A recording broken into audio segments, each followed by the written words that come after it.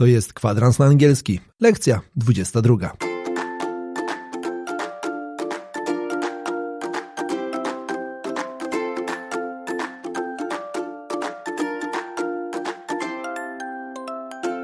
Welcome guys to our weekly podcast Kwadrans na angielski. Witajcie, jak co czwartek w podcaście uczącym mówić po angielsku. Mam nadzieję, że ćwiczyliście zamawianie napojów w kawiarniach i restauracjach po naszej ostatniej lekcji. Przecież nic nie stoi na przeszkodzie, żebyście sprawdzili znajomość angielskiego u polskich kelnerów. Jest to na pewno zadanie dla ambitnych, ale na pewno takich osób nie brakuje wśród naszych słuchaczy. Dzisiaj zostajemy dalej w kawiarni i może tym razem coś zjemy i zapłacimy za rachunek? Sounds like a great idea. Brzmi jak świetny pomysł. Let's begin. Zaczynajmy. Tak jak już mówiliśmy, ostatnio byliśmy w kawiarni. Zamawialiśmy różne przedmioty, na przykład sok pomarańczowy. Aniu, czy pamiętasz jak był sok pomarańczowy? Orange juice. Orange juice. To teraz dowiemy się, jak zamówić kolejny sok pomarańczowy. Żeby zamówić kolejną rzecz, czyli jeszcze jedną rzecz tego samego, powiemy one more. One more. One more. One more. One, czyli jeden, more, więcej. Jeszcze jeden, byśmy powiedzieli. E, Więc powiemy na przykład one more wine. One more wine. One more wine. One more wine. Czyli o co poprosiliśmy Aniu? O jeszcze jeden kieliszek wina. Pięknie. Albo one more coffee. One more coffee. One more coffee. One more coffee. I tutaj prosimy o Kolejną kawę. Pięknie. Jeżeli jesteśmy z grupą znajomych, to nie musimy się ograniczać do one more i mówić one more, one more. Możemy od razu poprosić o kilka y, sztuk więcej. Na przykład two more juices. Two more juices. Two more juices. Two more juices. I tutaj o co Aniu poprosiliśmy? O dwa kolejne soki. Tak jest. Dwa kolejne soki, dwie szklanki soku, czy w czymkolwiek ten sok został Wam podany. Yy, Zauważcie tutaj, że nie tylko zmieniamy one na two, ale robimy też liczbę mnogą, czyli z wyrazu juice dodajemy s. Juices. Ok, Aniu i Wy, kochani nasi słuchacze, jak byście poprosili o kolejną białą kawę? One more white coffee, please. Excellent. One more white coffee, please. Albo kawę z mlekiem, czyli Coffee with milk. One more coffee with milk. Excellent. Good job. Zapytajmy teraz, czy możemy tu zjeść, bo nie każda kawiarnia oferuje opcje y, żywieniowe, chociaż większość chyba już tak. Znamy już część tego wyrażenia, czyli czy możemy tu zjeść. Powinniśmy znać wyraz tu. Aniu, czy pamiętasz jak było tu? Here. Here. I poznaliśmy go przy okazji mówienia o kierunkach w mieście. Na przykład, czy jest tutaj bankomat? Aniu, czy pamiętasz, jak powiedzieć, czy jest tutaj bankomat? Is it uh, ITM here? Near here. Near here. Okay. Tam mieliśmy wrażenie, aha, is an ATM near here. Um, czy is there an ATM near here? Czyli niedaleko um, tutaj. Czyli wiemy już, jak jest tu. Do tego będzie nam potrzebny wyraz jeść. Po angielsku eat. Eat. Eat. Eat. I pełne pytanie. Can you eat here? Can you eat here? Can you eat here? Can you eat here? Dokładnie oznacza to, czy można tutaj jeść, czy ty możesz tutaj jeść. Natomiast nie dajcie się zmylić przez to you. To nie oznacza wy, czy ty. To jest ogólne pytanie, czy można tutaj jeść. Jeżeli was to krępuje, to możecie zapytać, czy ja mogę tu zjeść, a więc can I eat here? Can I eat here? Can I eat here? Can I eat here? I wtedy w odpowiedzi usłyszymy yes, you can. Yes, you can. Yes, you can. Yes, you can. Czyli, że tak, oczywiście można tutaj zjeść. Ok. Kolejne pytanie, które nam się przyda. Can I have the menu, please? Can I have the menu, please? Can I have the menu, please? Can I have the menu, please? Excellent. E, Menu to będzie Menu. menu. Tak jest, karta dań menu. A can I have the menu, please? Oznacza? Czy mogę poprosić o kartę? Pięknie. Czy mogę poprosić? Czy mogę dostać? Can I have? I to wyrażenie będzie nam dzisiaj bardzo, bardzo przydatne. Can I have? Can I have? Can I have the menu, please? Can I have the menu, please? Wyśmienicie. W ostatniej lekcji mówiliśmy też o wyrażeniu chcę, żeby o coś poprosić, albo poproszę, chciałbym. Yy, Aniu, czy pamiętasz, jak mówiliśmy, że chcę coś? Na przykład chcę um, sok jabłkowy. Mm, To powiesz? I'd like to.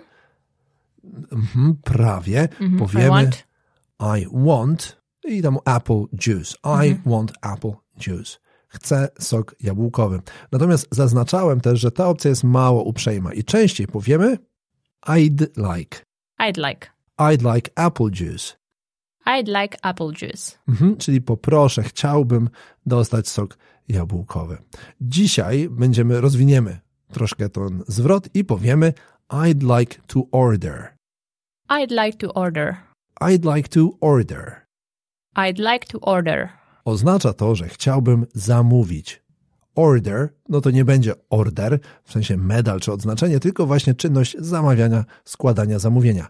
Jeszcze raz, I'd like to order. I'd like to order. I'd like to order apple juice. I'd like to order apple juice. I w ten sposób możemy zamawiać, bądź e, powiedzieć o samym fakcie, że jesteśmy gotowi zamówić. No dobrze, to let's order. Zamówmy.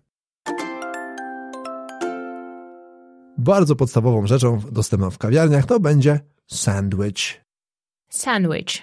Sandwich. Sandwich.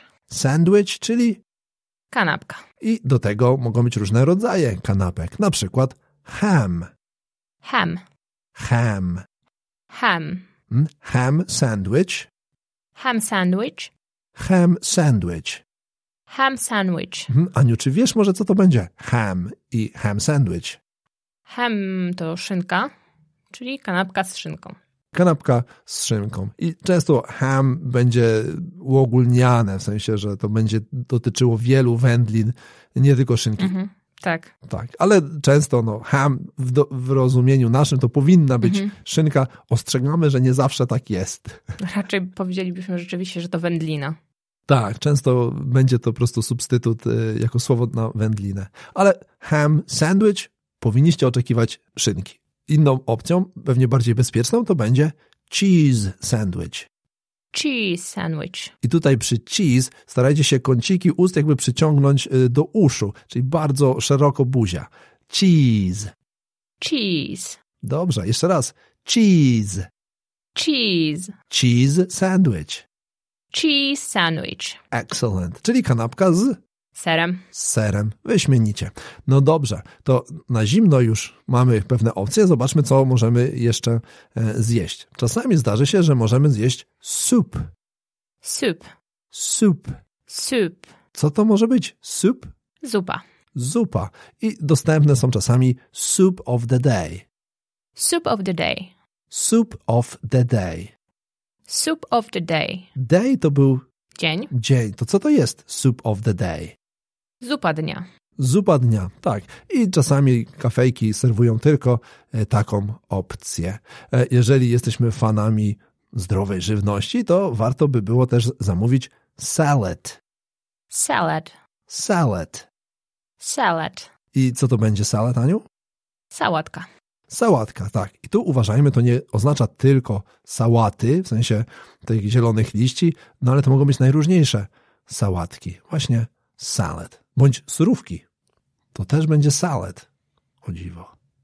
Bo u nas jest różnica. Tak. Nie wiem jaka, ale jest. Przejdźmy do deserów. Ania skomentowała ciszą. Tak. Czyli też nie wiesz jaka różnica. Nie. Jest, jest to nieuchwytna różnica. Okej. Coś na słodko może. Dessert. Dessert. Dessert. Dessert. Oznacza to deser. Na przykład powiemy I'd like to order a dessert. I'd like to order a dessert. Czyli chciałbym zamówić deser. I mamy tutaj, ja podam tylko dwie opcje. Menu mogą być bardzo obszerne, więc apple pie.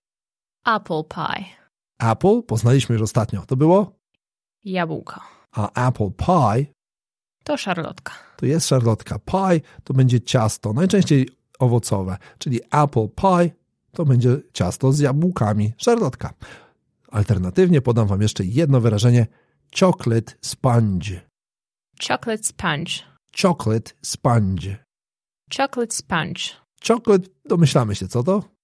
Czekolada. Tak, to było na początku naszych zajęć, gdzie mówiliśmy I like chocolate, a sponge to będzie rodzaj ciasta. Może ze SpongeBobem się kojarzy. No właśnie z gąbką, nie? Z gąbką, tak. SpongeBob jest gąbką, taka bajka, a sponge to będzie, Aniu?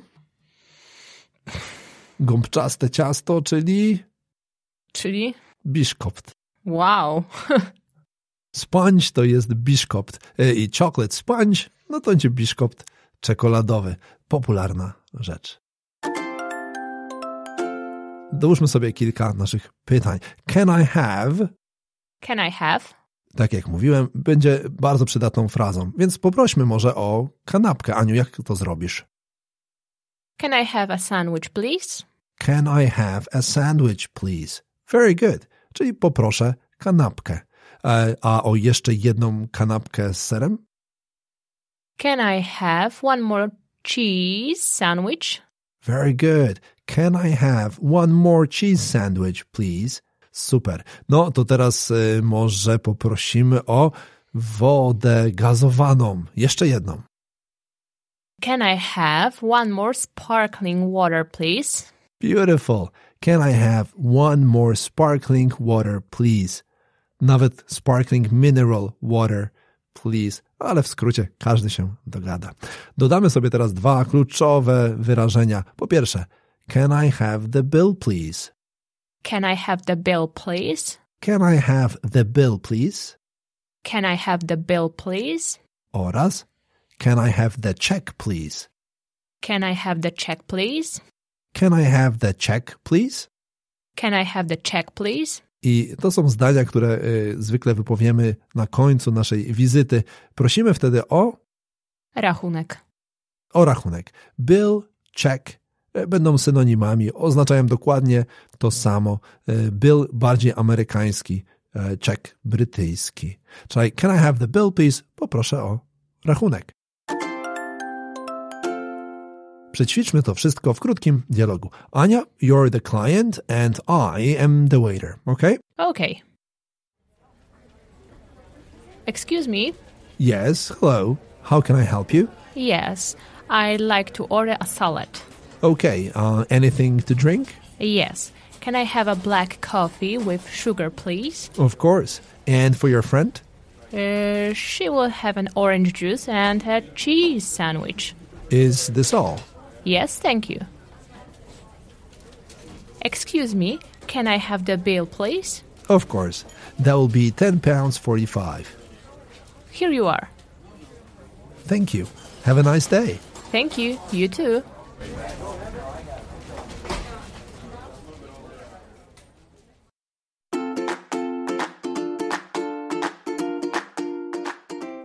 Co zamówiła Ania dla siebie i swojej koleżanki? Dajcie znać w komentarzach, czy zrozumieliście. Wiem, że w tym dialogu pojawia się kilka dodatkowych fraz. Jeżeli chcecie się dowiedzieć o nich więcej, to zapiszcie się do naszej społeczności na stronie www.kwadransnaangielski.pl.